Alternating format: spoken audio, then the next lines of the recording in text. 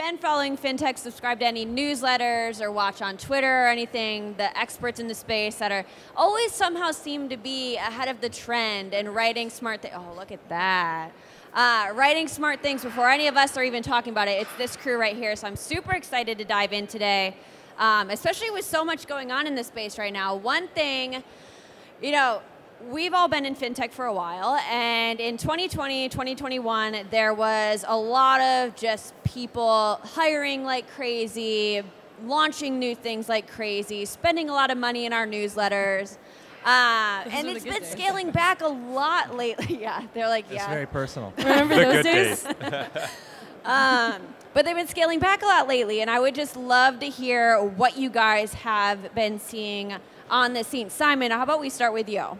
Ooh, you came straight to me, huh?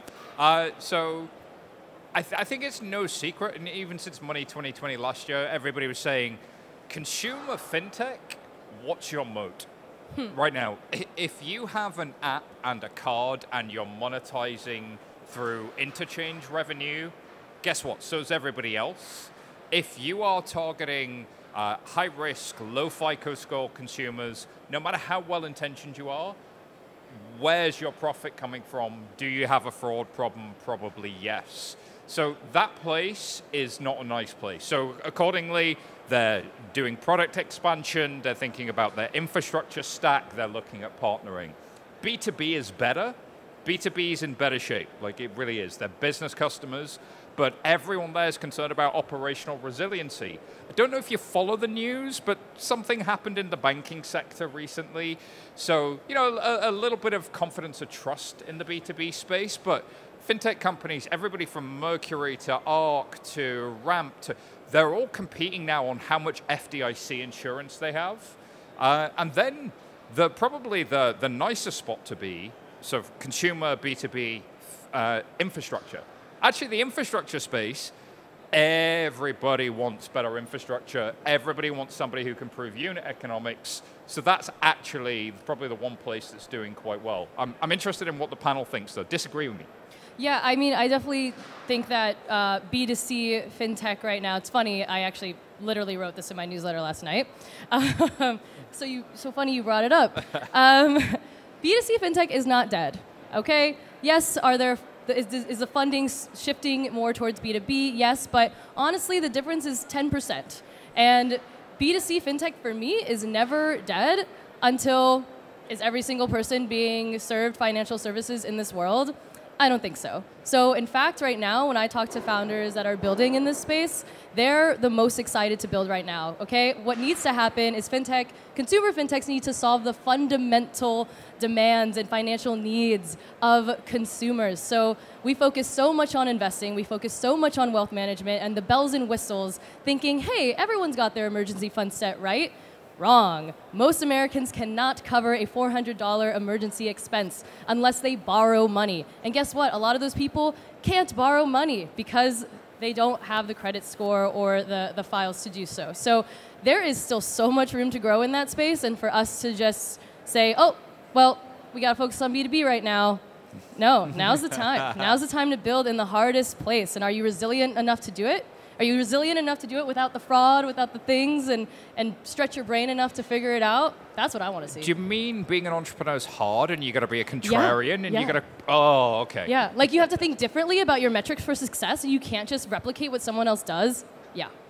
Yeah, so from my point of view, I guess I see it from a VC point of view, but also I get to interview more later stage entrepreneurs and I think it's clear that right now everyone is looking more for the B2B opportunities, right? And so funding is much harder to get as a B2C. But if you look at the numbers, it is true that a lot of B2Cs, they're growing like crazy, right? You just got to know where to look. And we look at both the US, Canada, but also Latin America. And I think focusing on Latin America, just for this answer, um, the growth there is is extremely, extremely inspiring, um, and I think the B2C thesis there is much stronger, uh, probably be because of a history of just weaker incumbents who are are very comfortable. They have amazing returns of equity, returns on equity, and now you know you see fintech serving not even the base of the population, but the, the bottom 80%, which is quite large. So from our point of view, we we're not afraid to invest in consumer. We're doing it less. Uh, there's just more activity happening in B2B. Um, and regardless whether you're talking about B2B or B2C, the, the focus is on sustainable business models, which is easy to say, much harder to execute, but those who can, they're definitely getting, getting the money these days. Lex, you're in pro- you cover crypto, which is probably the most volatile of everything right now. what have you been seeing? He's having the most fun. So, f- first question is raise your hand if you can hear us. okay. That's good. For real, you, you in the over there, you can hear us okay. Because I can't because the speakers are facing this way. So I'm like, I feel like we're in a in a um, in a You're missing good stuff. I know. I. It's like I should. If they could only write it down and email it to me, so I could subscribe to it at fintechblueprint.com/slash/subscribe. I don't know. That would be really. That would be really great. Um, I'm kidding. Um, Not really though. but but you know. He's really not. Go subscribe right now. I'm not needy. You are. Shut up. Forget this panel, subscribe to our newsletters, and you'll know exactly what we're about I'm to say. surprised he didn't have them put the QR code as the background instead of the volcano. yeah, it, it, it was going to go here eventually.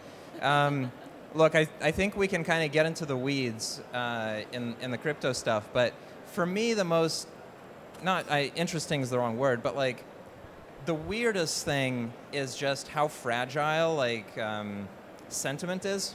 You know, when you go through a market cycle, lots of things happen, and you can you can pay attention to different uh, to different symptoms that come out of that uh, market cycle. So like hey, the Fed broke all the banks. That's one symptom. Or, look, 30 or 40% of the companies in crypto ended up um, being caught up in a fraud, right? Like these, this is true. But you can also find things like, why is it that uh, a company like Dave, public, uh, you know, uh, a fintech company called Dave, SPACed as a neobank. I'm sure we all have lots of feelings about it, you know. But if you look at their financials, they have literally linear revenue growth. Like it's just it's a straight line. Their revenue growth is a straight line, and their net income, you know, is kind of the neobank net income, so it's slightly unprofitable, kind of wiggles down. Um, and yet that thing is trading at 50 times revenue in 2021 and it's trading at like two and a half times revenue in 2023 and in 2021 everyone loves it. It's the future of the world. And in 2023 it's like never should have happened. All these things are wrong. You know consumers aren't worth anything. So to me it's like i look at that information i look at the market sentiment and i basically just don't trust it. I think the information we're getting out of that market sentiment isn't particularly useful for people who are thinking about long-term horizons. Like if, if you're solving a question of, you know, how do you, you know, penetrate the, the uh, long tail of people who maybe aren't, aren't fundable in more traditional financial services, or if you're dealing with a question of um, how do we burn down the financial industry into nothing and rebuild it from scratch on decentralized open rails using open source software, you know, meanwhile taking down all of big tech and Web 2, you're not going to get an answer to that in two to three years by trading NFTs. So to me, like we are caught up in a, it's you, you think it's a joke, but um, He's right. so you're not going to get there in in a couple of years, and you're you can't really extract that much meaning from the stories that the market is telling you because they're just kind of like echo chamber reflections of messaging from the Fed back to the banks to the big tech companies, and it all kind of just amplifies up and down. You know, so for me, I'm I'm as bullish as ever on um, the fundamental technology changes like um, Web3 and crypto has never had as many software developers building open source software, financial and otherwise, than it does now. There's never been more active accounts. You know, um, we get excited about fintechs having 2 million active accounts. Ethereum plus all the stuff attached to it has like 500 million addresses. You know, so um, even though things are volatile, I try not to kind of park my emotions into that volatility. So, given all this, how how healthy is the industry right now, Miguel? there's no there's no one single answer. I, I guess you gotta zoom in company per company or segment per segment. But you know the reality is that of all the companies that went public, let's talk about the public markets of fintech. We really haven't seen any blowouts, right? Like the companies, as Lex just mentioned, even those that have been hammered, like Dave or others, they're they're still around, and and oftentimes more often not they're growing, right? And and just I don't know if you guys caught um, Nigel's presentation just now, but I think the direction of travel is very clear.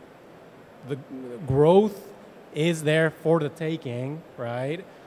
Consumers definitely want a better experience. There's no doubt about that. Um, it's just about focusing on on the basic unit economics, right? And then building something that is sustainable. But overall, I'd say you know the industry is is healthy, but but has some challenges. And how how much harder is it to do that now versus back in 2020 and 2021 when you could raise so much funding and you felt like you had more flexibility to explore different things and truly find out what the consumer might value most whereas now you've got to be super focused and don't really have that wiggle room anymore especially if you haven't raised in a year or two and you're going to have to start thinking about that again I think they say that necessity is the mother of all innovation.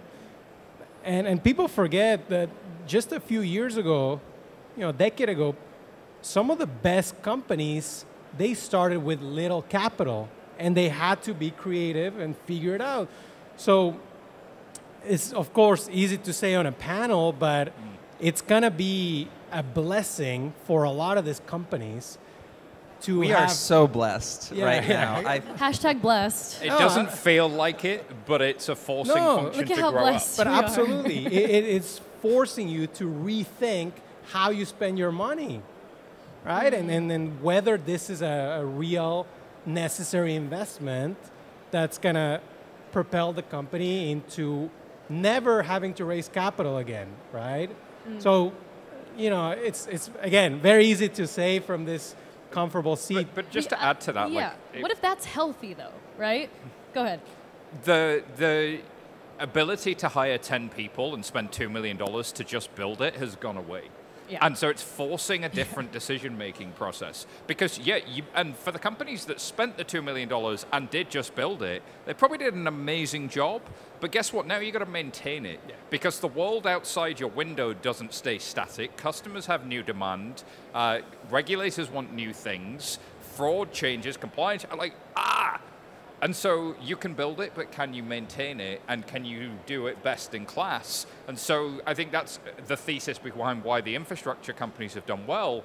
But they're now moving upstream into enterprise fintech. And as they move upstream into enterprise fintech, talking to your point earlier, they're also moving into a lot of the banks. I was speaking to uh, Matt Van Buskirk from Hummingbird.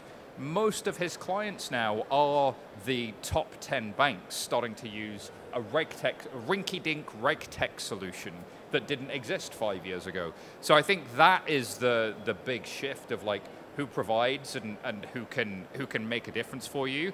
It's not banks versus fintech quite as severely anymore. And mm. to Lex's point, isn't it interesting that we haven't seen the big public blowups? Yes, but who did blow up? And who's got operational resiliency? And that's that's the most important thing. And that's the reason we're all here. Is not just to help people get onto the ladder, but to protect the money when they do. Trust is everything. Everything right you, now. As soon as you lose that, you are out of luck. Yeah, I mean, you have to look at the culture of the demographics that we're looking at right now. So remember that Gen Zs and millennials make up nearly 50% of the population today. They're inheriting over $300 billion in wealth every month. Like it's happening so fast and right before our eyes. And if we're not paying attention to what the culture is wanting, which is trust, right? It's why a lot of us of us exist. I exist because people follow people instead of institutions. And that's how I've built any kind of credibility by being honest and open and saying, hey, like, there's so much pessimism in the in the in the market, but this is the most important time to be optimistic and aspirational. This is the time to like forget all the sticky notes you put on the whiteboard and build something entirely new. I actually would be curious what Lex's thoughts are on the crypto space and kind of having that almost a rewrite of the narrative because it got a little wild and crazy there, didn't it? Like there's a lot going on. It's almost like what is healthy is maybe a like a little bit of a reconfiguration. Maybe healthy is taking the, you know, the, the old and trying something new.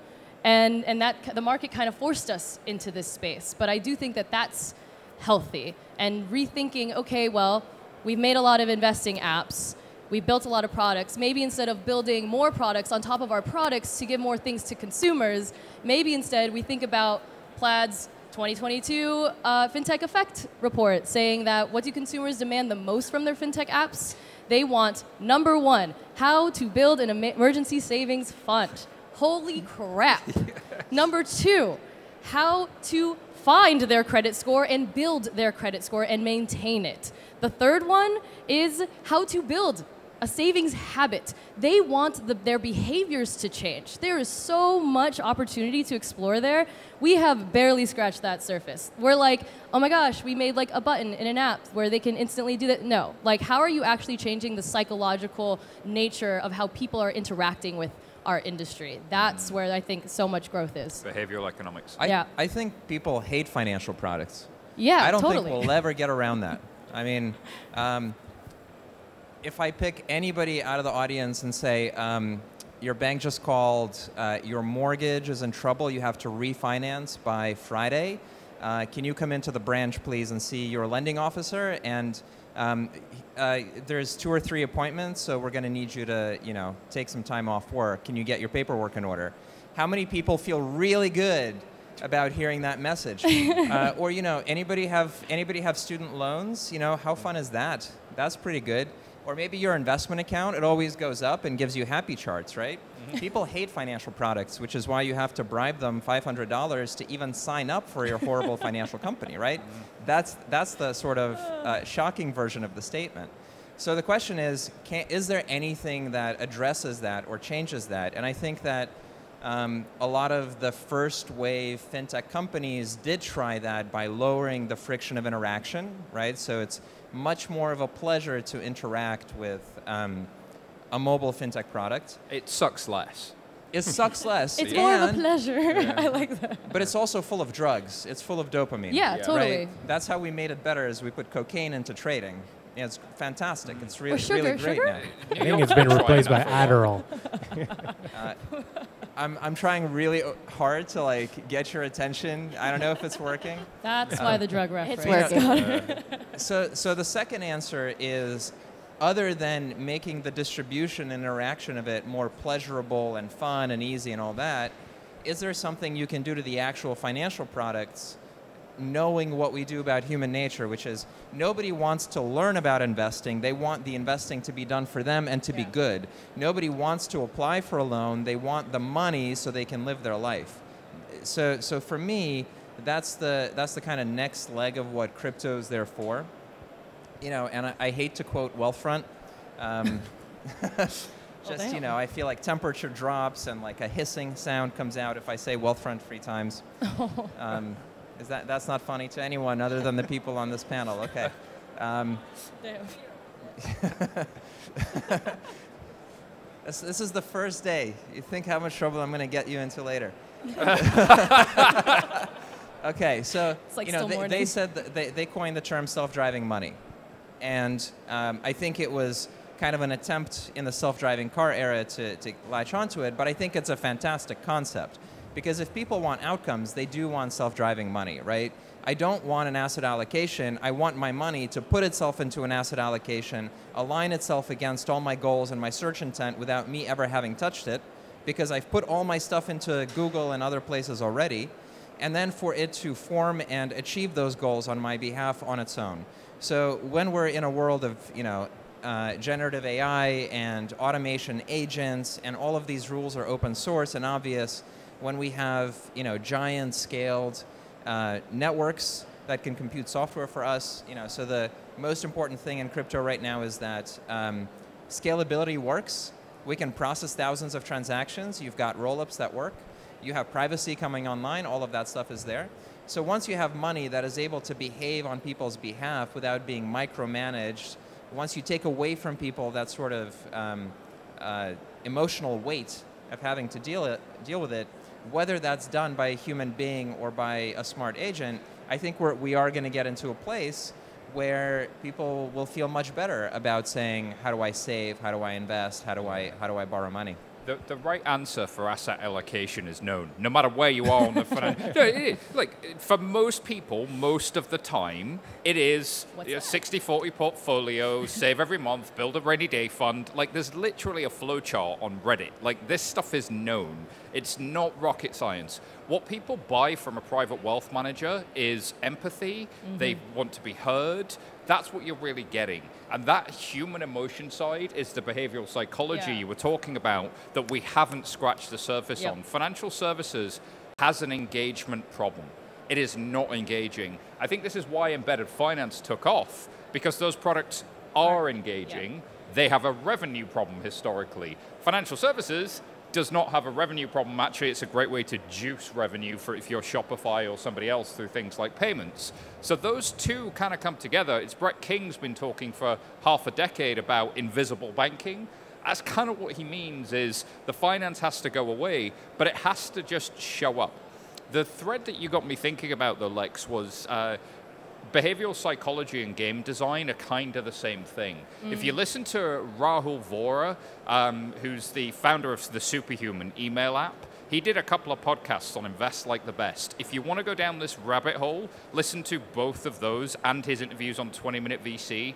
It's a masterclass in taking game design and using those mechanics that get people addicted to that online game, to swiping on Candy Crush, those dynamics, because the best game design doesn't teach you how to play the game in a classroom sense. You learn it by doing, and it builds those reward centers. That is the best app design, except here's an actually good reason to do it. I'm, I'm teaching you how to have a savings habit without teaching you. I'm just hmm. designing the experience so beautifully. Th- to your point, Nicole, that is so far away from where we are. It's unbelievable. Yeah, we're, we're not even. It's because, and I think it's a it's a mind shift set uh, shift as well, right? So we do have to think about um, yes to all of these points, but also what does that next generation or current really right the trust? younger gen what do they trust what do they want they want value they want community they want to feel like they're large they're a part of something larger than themselves and they do want that in their financial services whether it's not like ooh, I'm so excited to be a part of my bank's community. That's like not the mindset. what it is is looking at someone and saying, take the personal finance influencers out there, you know, on social media. To me, they've actually kind of hit a wall. They've hit a wall where they've done a great job of, of, of showing what financial literacy is, what, what uh, technology can do, but they don't really go any more past uh, these are the basics basic fundamentals of personal finance and this is an app i like to use. But they don't actually show you anything about the app. They don't actually like because they're just sponsored right? I mean and look like nothing wrong with being sponsored like sponsor me. Um, but like but but like they just don't actually show you they're just like use SoFi and then that's it. But like i would this generation wants to know okay well who's leading SoFi? What are they about? What are they you know what are your morals SoFi. I mean, it sounds crazy, but they want to know that. Um, and then they want to know if like, are their peers willing to do it? Are there like, is a community going to be there for them? Is there someone there that they can like talk to about whatever is going on in their mind psych- psychologically when it comes to money? And if that stuff's not in place, then you know, customers are really fickle right now, right? Like loyalty only comes with that trust. And- the way a bank historically communicated, the way regulators want you to communicate, don't jive with the authenticity required of a creator. And, and I think that authenticity is something that's just completely different. And I think you can authentically be a banker, right? Like, but be authentic. Uh, Right. don't don't try and be a TikTok influencer as a banker, but I think there's Yeah. really something to pull on there. Right. And I think that we, as leaders in the fintech space, have this, what I, in my opinion, almost a responsibility, You know, if people know how to talk about our industry and how to actually, you know, the, the what's actually going on in our apps and how we're actually building it, like this is it is no longer the era of if you build it, they will come. That is not a thing anymore. Just like I feel I would say erase it from your minds. What is actually happening now is that you have to build the ship and then you have to tell the story of building the ship. So, Nicole, do you think uh, that cur- Gen Z, let's focus on Gen Z consumers, are going to be more loyal to their financial institutions? Because one of the things that old school bankers will always tell you is never overestimate the loyalty of your customers. Yeah. Right? Sticky deposits, maybe. Do you think that's, that's going to change in this new generation? Um, I think it can with the rise of fintech apps being more focused on community elements, being more focused on adding value with their content, and maybe not just curating content, right? So, how are you actually providing education? How are you actually connecting a user to a community of like minded people? How are you gathering them together in the same room?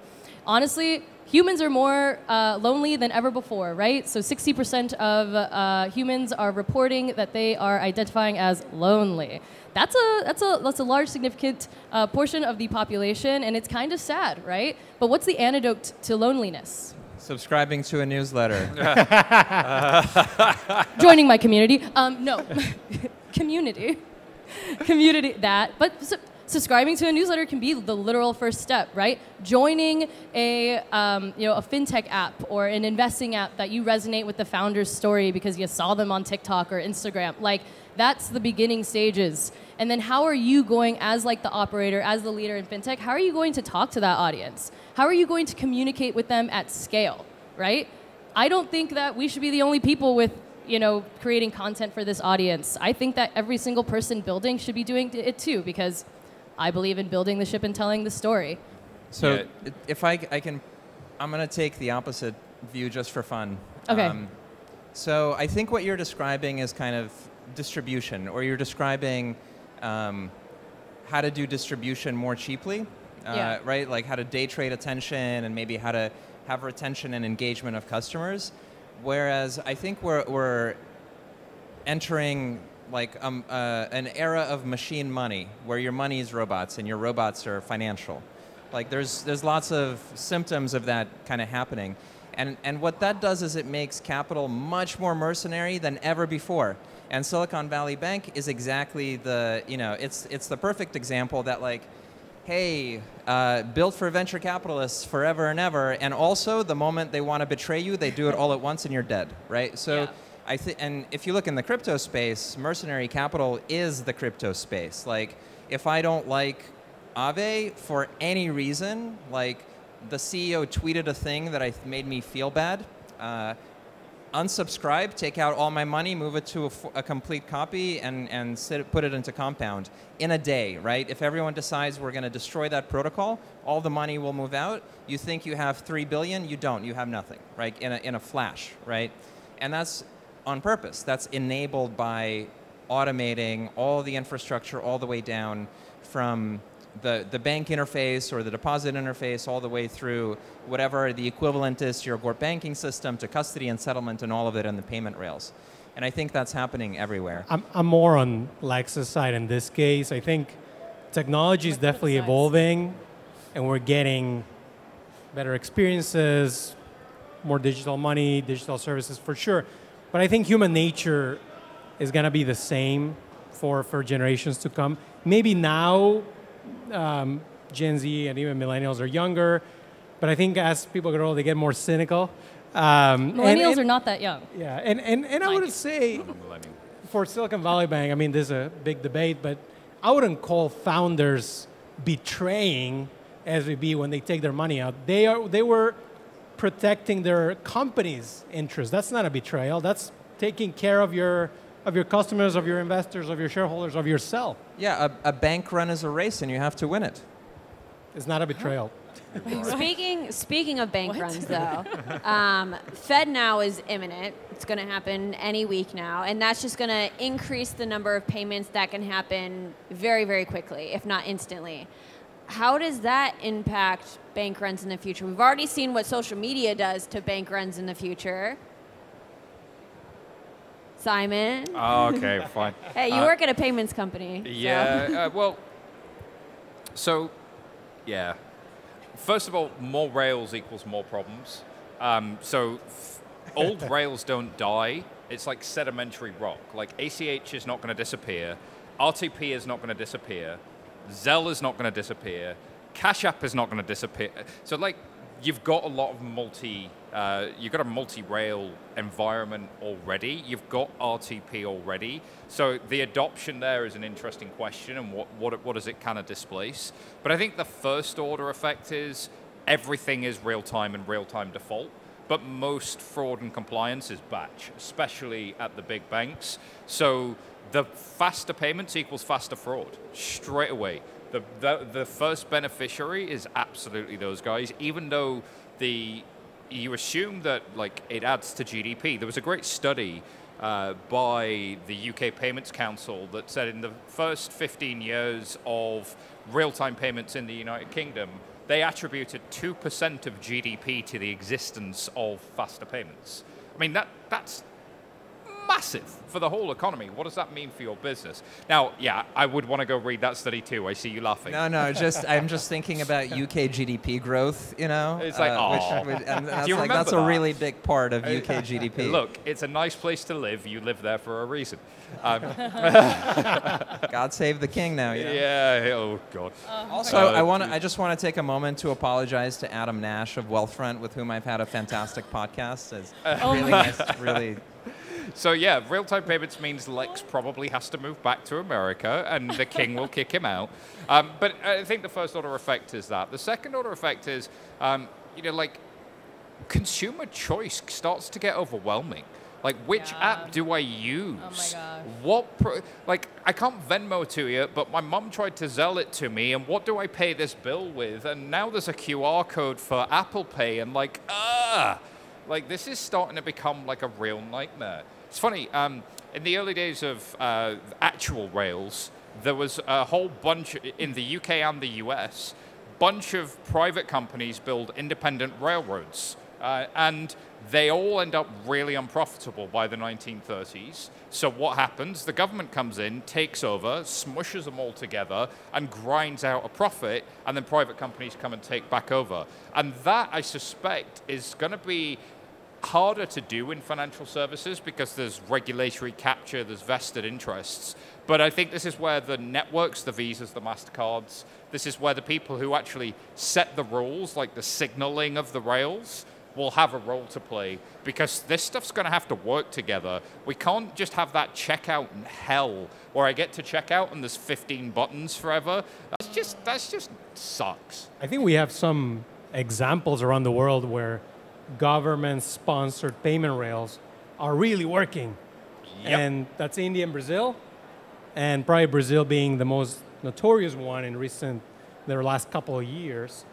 And it, the reason it's worked is because they aligned the incentives correctly Bullseye. and they used their power, the central bank's regulatory power, to oblige to make sure that every meaningful financial institution actually placed a button that was easy to find, Yeah. and that just encouraged. Can you imagine the Fed doing that?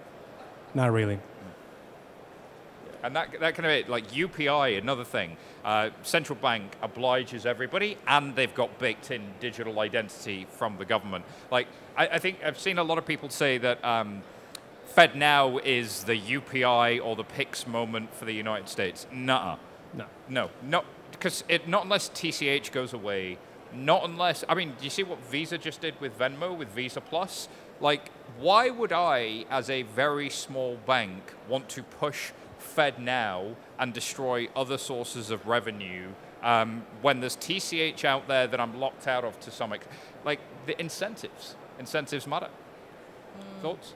Nicole, how do you think that impacts consumers? Because those people that you know need four hundred dollars to cover an emergency expense, if they can't get something instantly, or they try to and there's fraud behind the scenes or something that makes their outcome even worse, like how do you see that going moving forward? Yeah, I mean, I think Simon said it best when he said that collaboration is is a necessity in this in this in this case and well across the board. Um, when it comes to something like fraud, I mean the bad actors is that what we're calling them these days? Anyways, they are literally working together all of the time. Oh, yeah. So Like John Travolta. yes, him. Um, what? Anyways, that guy. Um, but the, the bad actors are working together all the time. So how are the good guys going to come together and and you know advocate for for that consumer? We're still laughing about this. Uh, Sorry, I'm still enjoying bad actors John I'm, Travolta. I don't know why it, I'm it was only when he trolling went our own panel. Scientologist. It- like, it come does- on. What John Travolta do? Well, I'll, I'll troll Lex a little bit here. Uh, you know, last year Peter told me that there's a lot of companies that submitted something crypto related, um, including fintech companies wanting to talk about crypto. This year they didn't get any fintech companies that wanted to talk about crypto. That's wild. Isn't it? Is that a question or an observation? It's an observation, and I want to know your thoughts on it. What what what does FinTech Blueprint subscribe have yeah, to yeah. say? So I, I've, I've, this, this is a personal challenge actually because I started my career at Lehman Brothers on Wall Street, um, and then so you get into the finance community, and then um, I start. Then I founded a, a robo advisor, and so I was in the digital wealth RIA community, and that's a very specific uh, point of view about the world, about the fiduciary duty. Um, and then I transitioned into the UK fintech community. And by the way, in the UK, you know, people don't invest money; they just they put money into the high bank, uh, and the bank is fancy, and investment managers are kind of icky. It's the opposite in the US, where investment managers are fancy, and I won't say the opposite. Uh, and then uh, the, the last bit is I've gone into the crypto community and, and uh, I work at ConsenSys, one of the, one of the core companies that's uh, building digital wallets in the space and building infrastructure. And it's, it's very strange to me because for me, it's like there's a continuation of different technologies being applied to pretty timeless financial motions. You know, like I need to pay, I need to pay you with cash, or I need to pay you with a card, or I need to pay you with a QR code, or I need to pay you with my phone. Like these are just things that I have a I have demand for that. As a consumer, I don't care what method I use, whether it's using a stable coin or if it's using a piece of credit or if it's using a check.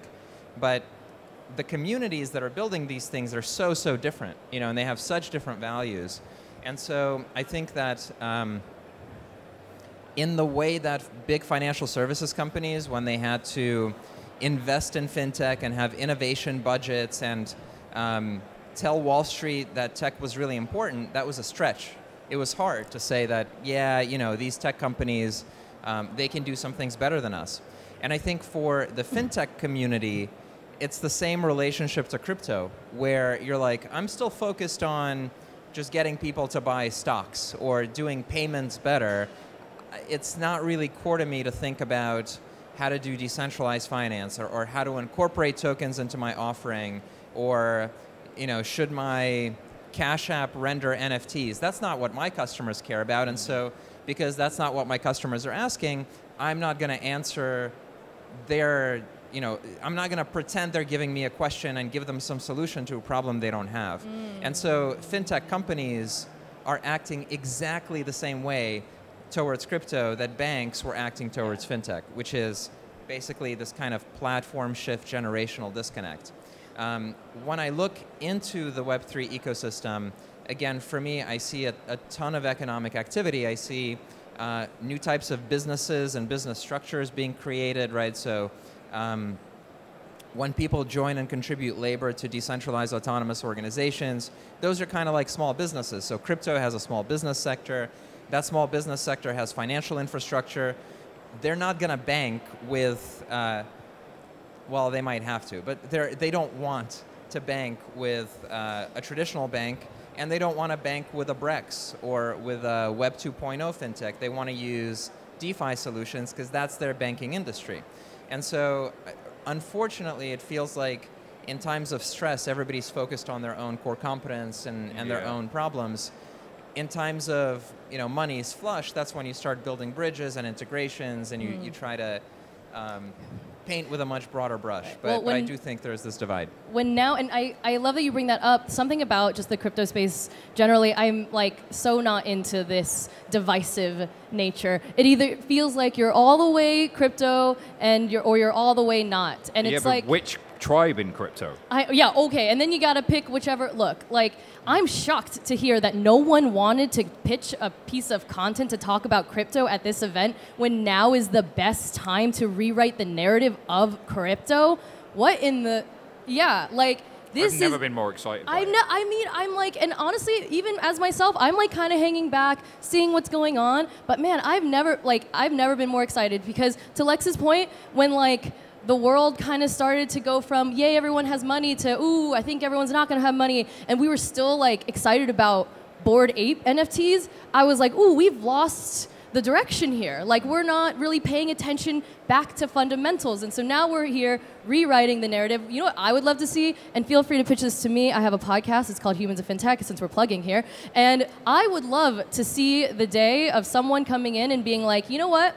Yeah, the hula hoops and the Bored Apes and the, the yacht clubs and the things needed to maybe take a break and we need to go back to the fundamental reason why crypto became a thing to begin with, or why blockchain technology became a thing to begin with, which was to increase the capability of global financial inclusion and to help more people access this financial system. It's happening across the globe. And like I said, we just got a little lost and carried away Uh, well, here. and, and that's the thing everybody forgets is mo- a big percentage of the users outside of the US, in fact, the vast majority are in the global south. It's Latin America, it's Africa. Africa, it's yeah. Asia Pacific. That's where the use cases are. There's a reason the UN is using stable coins, but you're not hearing about it. There's a reason that this is you because it works.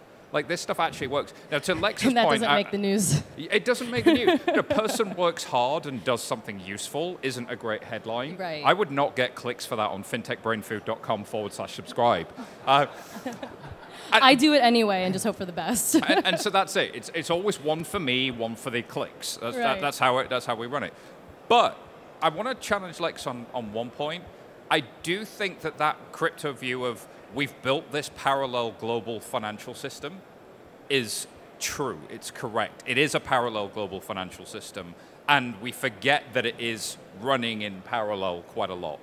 But I don't think it obviates, therefore, this system can never touch the old one. In fact, if anything, there are a lot of lessons to take from the old system to bring into the new one. The old system isn't global, it was globalized, right? So you have domestic networks that are like smudged together with this thing called Swift that doesn't really work, and these other net, and then you have more rails, more problems.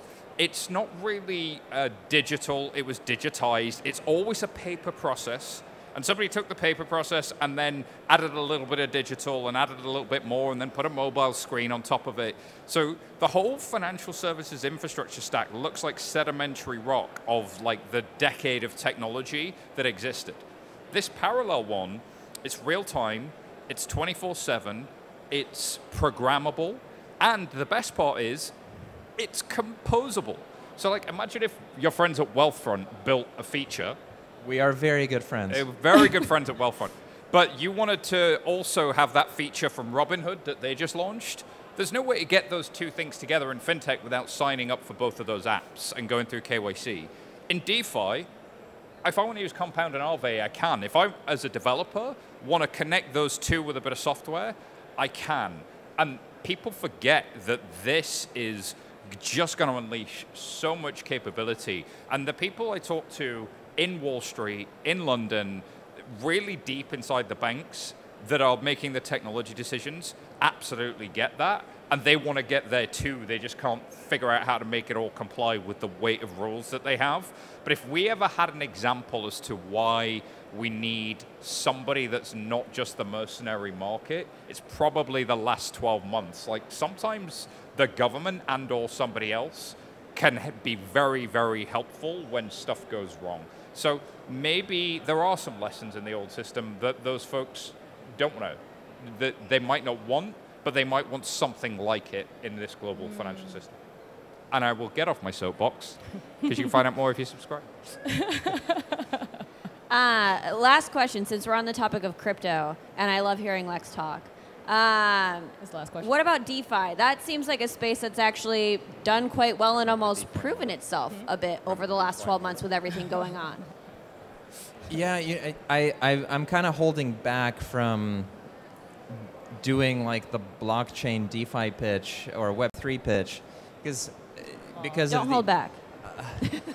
Go So- for it, so man. remember It's Web3? contrarian now. Yeah. Lex, hold back? No. You, you can. You're a contrarian now. Like it's Yes. totally okay. Yeah. I remember writing Um, about Web3. So I, you know, I don't feel particularly challenged, Simon, by your challenge because I agree with it. Um, Aw. I know it's awful. I hate I it. came at the king and I missed. uh, hate it. so I, I think it is a really great example of I'm a developer. There's a part of Robinhood I like. There's a part of Lending Club I like. There's actually a nice yield account that's sitting in Apple right now. I don't know if you know about it. By I don't know how they did it. Um, Goldman Sachs. Uh, and you know, I like these three things, and I want to hack together a robot that, um, if I have a 15% profit in my Robinhood trading strategy, I withdraw 8%, uh, and half of it I send to Lending Club for 10% yield, and the other half I put into the Goldman account. And then, you know, every month I need 500 bucks to pay my subscription, so put it into another account. I just want to hack that together, and I never want to talk to a human being or a company because I hate them all, right? I just I just sit in my house and I code all day, and that's my whole personality, right? um, you know, so am I selling DeFi yet? Uh, is it working? Um, For the and so like introverts. to to a, you know to anybody in the financial industry it's like you start imagining okay uh, all the API documents and then you start imagining the the enterprise documents and also then you're like but what about the consumer data it's my data and then I don't want to share my logins and I don't want you know and then you're like and the regulators well there's three regulators for this thing and then two regulators for this thing but we're in this state and not this state so we have a different thing and also, we have this exemption going on, so we have to paper it. And by the way, who are you? You're 15 years old, and are you KYC'd? You know, like, what do your parents say? Um, so, obviously, that doesn't work. In DeFi, what I've described is trivial to do.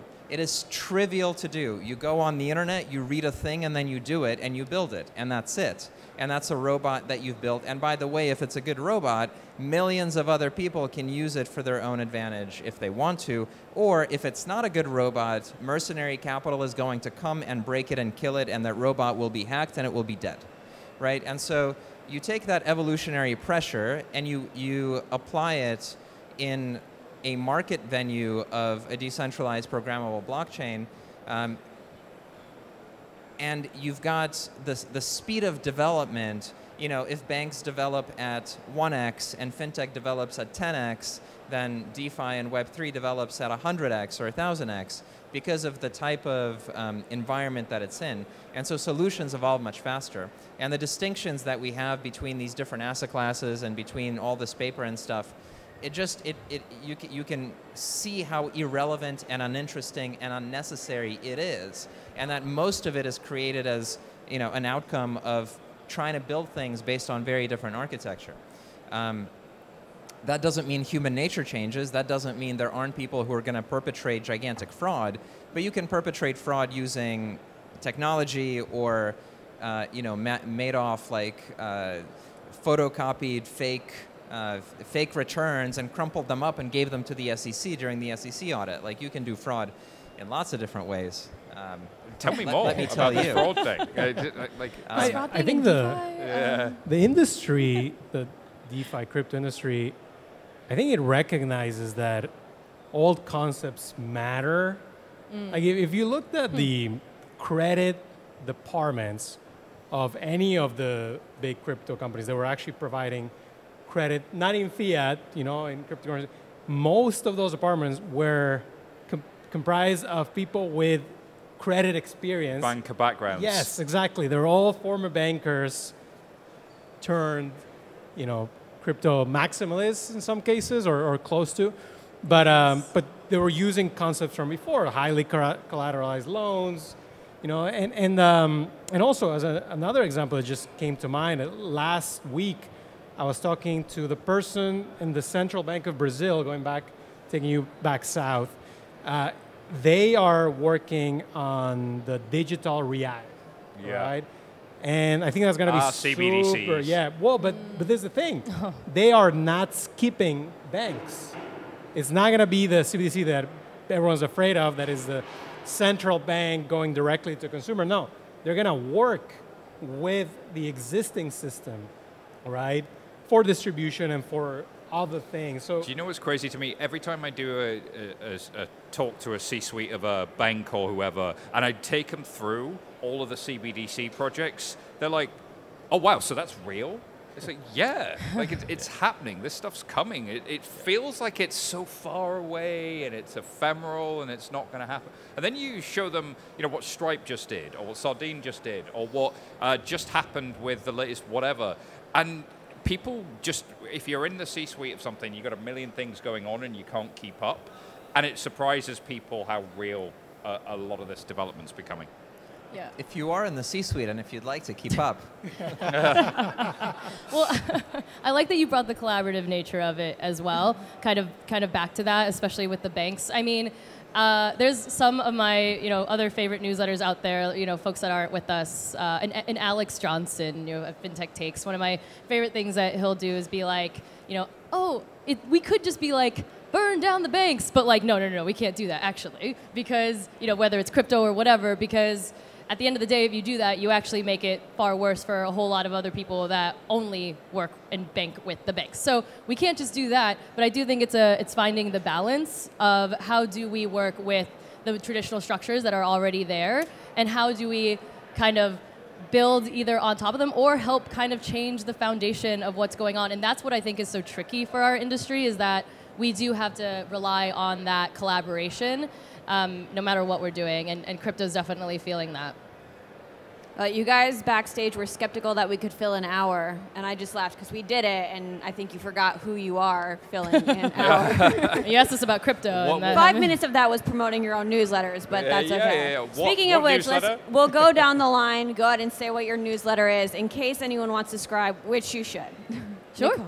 Yes, hi. Uh, I'm Nicole Casperson. I am the founder and writer of FinTech is Femme. It is a newsletter, media company, podcast, events, the whole thing. Um, dedicated to upholding our industry's promise of financial inclusivity by elevating the stories of women and diverse leaders. So, if you're interested in financial inclusivity, if you're interested in how we can work more towards that and understanding more of the culture of our industry, and also if you're a badass woman or ally in the space that wants to be a part of a, a dope community of people that are dedicated to helping each other succeed, check my stuff out. Simon? Uh, fintechbrainfood.com you'll find all of the newsletters and rants and everything else i have a day job i work at sardine the world's best fraud and compliance platform come come hang out with us we're, we're here all week and if you want to get rid of fraud and you've got some uh, aml things and you want all that to be better you should talk to us So I, I wear two hats. One, a general partner, co-founder of Gilgamesh Ventures. We invest in fintech in the Americas, so that's U.S., Canada, and Latin America. And then second hat is a fintech leaders newsletter slash podcast. You can find us on all the platforms you can think of, starting with Substack. Um, and it's interviews one-on-one usually with some of the most interesting fintech leaders around the world, not, not just one single region. In There- case you weren't aware. there's there's so many newsletters and podcasts. If only there was some sort of aggregation of it all, you know, some sort of fintech, I don't know, nexus uh, that could bring it all together. That would be amazing. Weird. I'd love it. Dot com. That's the next innovation. fintechnexusloveit.com go buy that url yeah Uh, if, if you're interested in, in my newsletter, it's FinTech Blueprint. Uh, and then uh, for some of the crypto work that I do, um, check out consensys.net and metamask.io for uh, the world's leading Web3 wallet. Amazing. Thank you guys so much for coming out. This Thank was you. fun. thank you well Thanks for done having julie us. Thank you, Julie.